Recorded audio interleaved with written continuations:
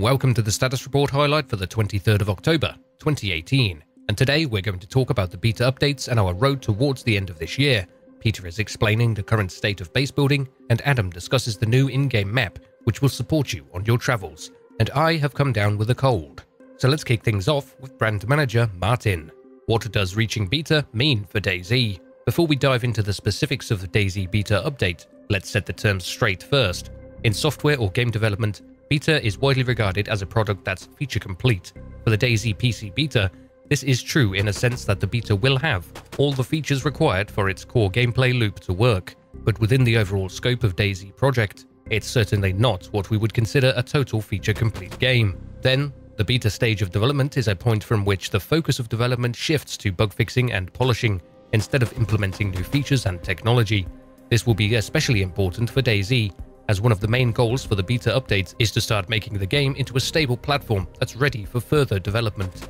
The other main goal of the update is to make the vanilla game an enjoyable experience. After years spent on core technology development, we finally have a game in our hands, not a game concept. The game has a given set of features and content, and that will allow us to make the necessary balancing and polishing together with our community.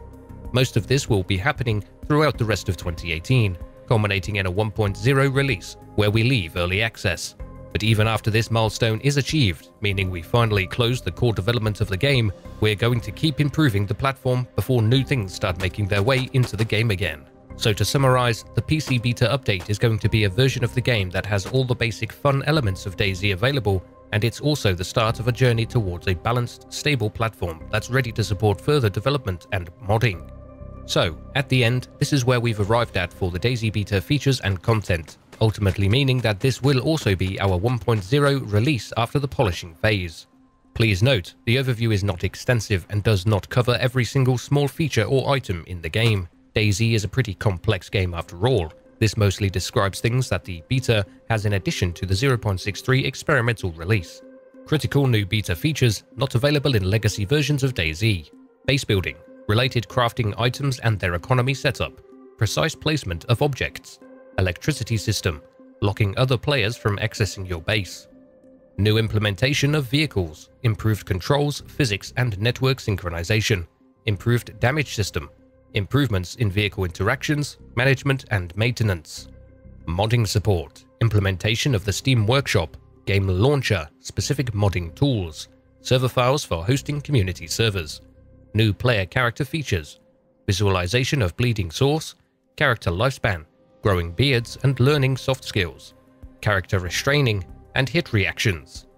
Smaller new beta features and improvements not available in 0.62, major improvements of the sound design, hidden loot stashes, not losing your weapon double carrying when switching from hand slot to shoulders, improved in-game map implementation, dynamic spawning of loot, fruits, stones, mushroom, and other items. Specific animations for carrying using most items.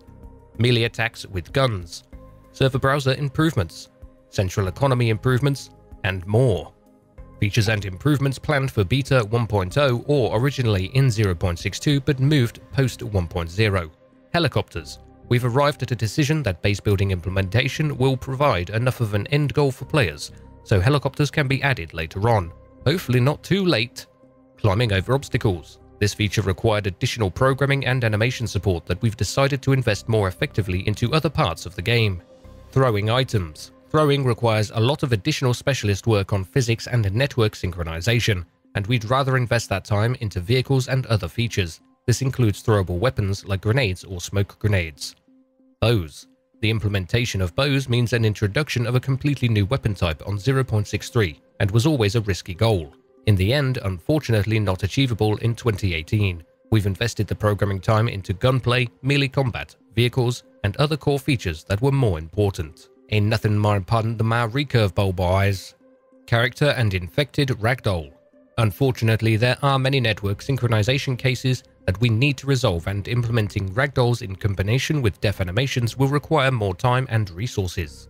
Two-way doors. While a huge quality of life improvement, changing the doors to two-way opening will require additional rework of some of the assets, and it is not achievable in 2018. And this last one is a little bit shit for me personally, fishing and fish traps. I love myself some fishing, decaying bodies, carrying characters, contaminated areas, item coloring, etc. These are considered flavor features and for now, work on core gameplay features was prioritized instead. I want to get on a personal level with you guys on this feature list that won't make it until post 1.0. Helicopters, I think that needs to come pretty quick. A lot of people are excited for that. Climbing over obstacles, again, another thing that people got super hyped for and want that sooner than later. But of course, if these things had to be postponed due to more important features or technology to make the game run smoother uh, before these are implemented, then fair enough. Throwing items, not too bothered about, though grenades are pretty good to throw. Bows, I, I really want my bow. I, I, really love using a bow to hunt character and infected ragdoll. Ragdolls are good, but we can deal with the animation we've got currently. Two-way doors, again, the same as the ragdoll. Probably deal with the doors as we have done for so long already. Fishing, fish traps, decaying bodies. Not too bad, but I do like fishing. Fishing in DayZ is one of my favourite pastimes. When I'm not killing people, I like to fish and survive off the land and cook. But we'll have to wait and see how long it takes to get implemented. Let me know in the comments below which one of these you're most looking forward to as we carry on with the status report. Martin follows by saying, in recap, there are no major feature cuts or postponements. Nice. So we should see everything we know of. It's just going to take a little bit longer.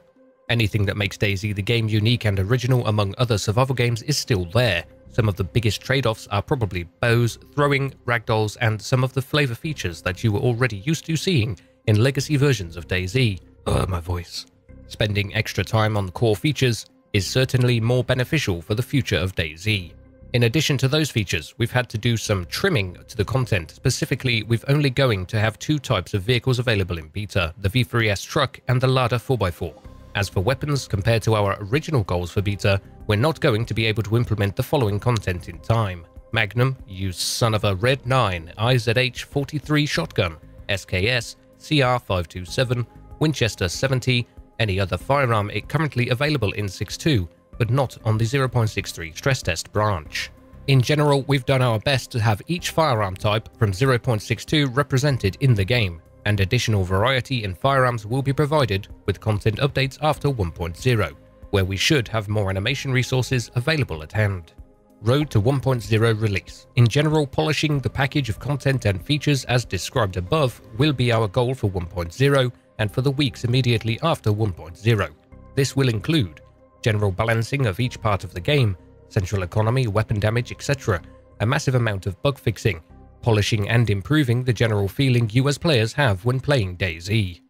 Just to assure everyone again, both the beta and 1.0 release will happen this year. All of that will be done together with our community, and we will be expected to hear a lot of feedback on various things. Oh, you will.